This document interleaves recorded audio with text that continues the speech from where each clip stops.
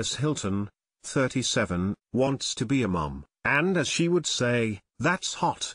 So, in preparation, she's decided to freeze her eggs, which is a good idea considering she just got engaged to her beau Chris Zylka, 31, on January 2. However, for the famous heiress, freezing her eggs has not been easy. Paris is struggling with freezing her eggs.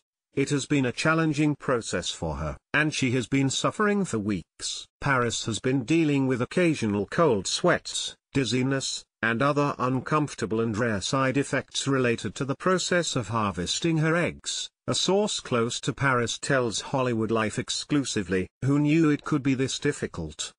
It has been a tough journey, but she has been a trooper. Paris has been strong and is enduring the ordeal to protect and guarantee her future family, our source continued. Poor Paris. But like our source said, it will all be worth it in the end especially since Paris has her wonderful fiancé by her side. She is happy with her man, Chris, and looking forward to marrying him and starting a family, our source added. So cute, right? Since their engagement, Paris has not been shy about bragging about Chris. After all, he did give her a $2 million engagement ring.